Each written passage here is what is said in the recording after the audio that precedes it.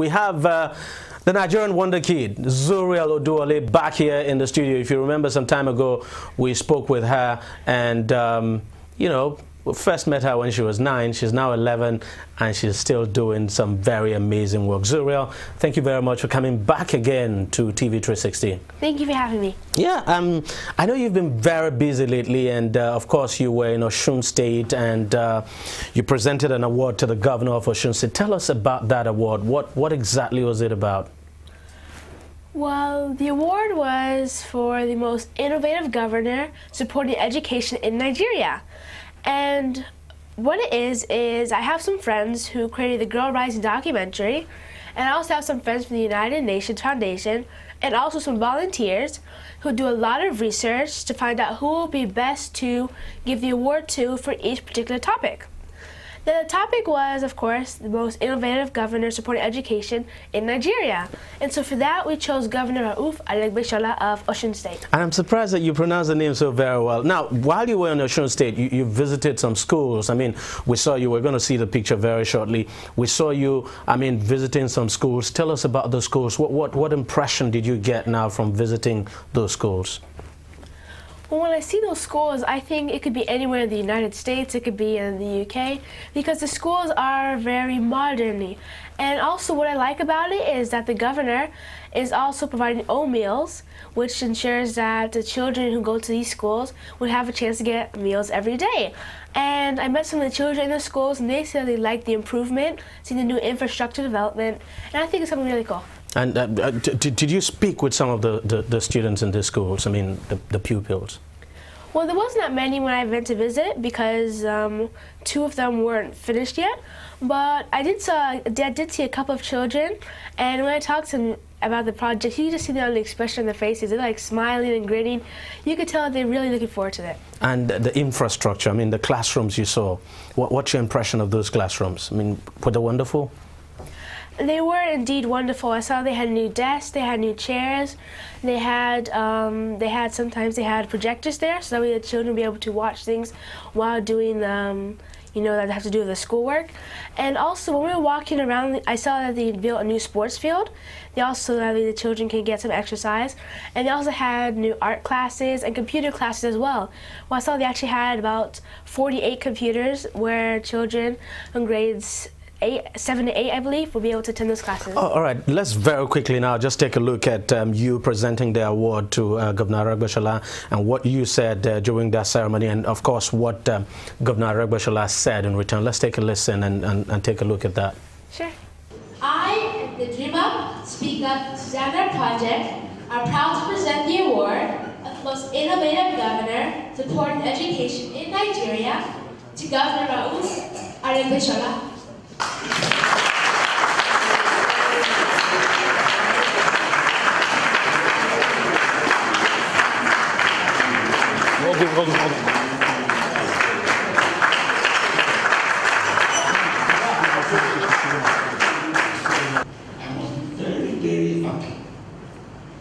To have singled out recognition by no less personality than international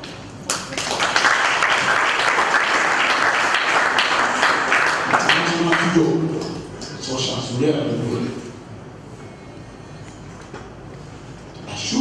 happy to have that distinction. Beyond the recognition of the award is the fact that we must celebrate this. Yeah. We must celebrate her for what what God has endowed her with and the effort parents in being such a distinguished personality at such a tender age. We are here more to celebrate the achievement of this girl.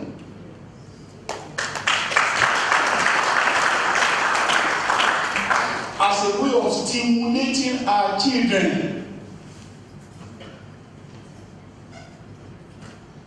to have high dreams and develop passion for their dreams so as to serve and through service get recognition. Well, I mean, we, Governor Argbesholade, I mean, speaking so glowingly of you, I mean, quite, quite wonderful. And uh, it, it's, a, it's so very wonderful that you could think of this idea and present, um, you know, an award to a, a, governor. So do you intend to continue this, or is this just a one-off? Well, I've already presented four awards. The first was to an African First Lady who is doing a lot to support um, child education. And that went to the First Lady of Tanzania, um, First Lady Salma Kikwete.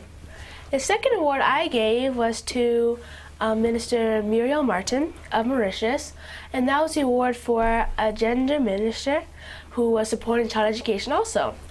And then the last two I did, which was in Osun State, I awarded it to Governor Rauf Aregbesola for the most innovative governor supporting education um, in Nigeria.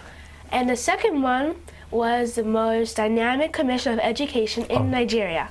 And that went to Madam Titilayo Tomori. Who is, of course, the deputy governor of that state, and she's in charge of education, no doubt. And the, the whole idea is, I'm very sure the whole idea is to encourage um, you know, leaders to continue to do more for, um, you know, for education, especially the education of the girl child, right? Yes, sir, that is correct. All right. Now, you, you were in Brazil. I mean, let's talk about your new project. Um, you have this project that is running, the Dream Up, Speak Up, Stand Up uh, project, and now you have another one. That's the hashtag uh, Follow the Ball for Education campaign uh, project. T tell us about this new project. Well, what it is, I'm sure as you all know, that the whole world is focused on football now because of the World Cup. Yeah, of course, and, yeah. and that's the reason you went to Brazil, but go on. And so what I'm doing is I'm taking these two footballs to six countries across three continents to get people talking about girls' education. And so I've been able to meet with people from over 20 nationalities uh, in Brazil who have signed the ball. And from this, I'm going to create a documentary to bring even more awareness to the rest of the world on why all children, especially the girls, should have a chance to get an education. Um, uh, tell us about the signing of the. How, how did people receive you in Brazil? Because, I mean, we saw you on the streets of Brazil, we saw people signing the ball. What, what's the kind of reception you got in Brazil? Well, when it's World Cup time, almost like everyone has the exact same address. Everyone's everyone's family when it comes to the World Cup, and so they were glad to sign the ball. We took pictures, and they also wanted to know um, what pro the project, more about the projects I'm doing. And so what I did was I explained to them, and then they wanted to know what more they could do to help the um, area of child education. I mean, it, it's good that your, your, campaign is coming at a time when uh, the, Nigeria is still looking for over 200 girls who were taken away from a school in Chibok. Um, what are your thoughts now about those girls who were kidnapped in Chibok? Well, I think it's really sad what has happened because me, as an 11 year old girl, I can't imagine being taken away to some strange place by some strange people. But um, I am hoping that the government will be able to find the girls and bring them home safely. And um, what will be your final word now about your campaign? Just tell us, because we, we have to close now. Tell us, what will be your final word about this campaign? I mean, the new project that you've, you, you've started now, the Follow the Ball for Education project. Well, you can find out more about my project on my website, dreamupspeakupstandup.com, and you can also follow on Twitter and Facebook. And where next are you going to? You've, you've gone to Brazil, you've come to Nigeria, so where next? Well, like I mentioned, six Afri six countries. So now I've done it in the U.S., Brazil, Ethiopia, and now Nigeria. Now the next two countries would be South Africa and Mauritius. Tell us, uh, I, I, just have to ask you this before you go. Your dream about becoming the President of the United States, and yes, uh, is it still on? It is, sir. That hasn't changed yet. It hasn't changed? No, sir. And you also want to be an athlete when you grow up? Yes, sir. Have, have you started practicing?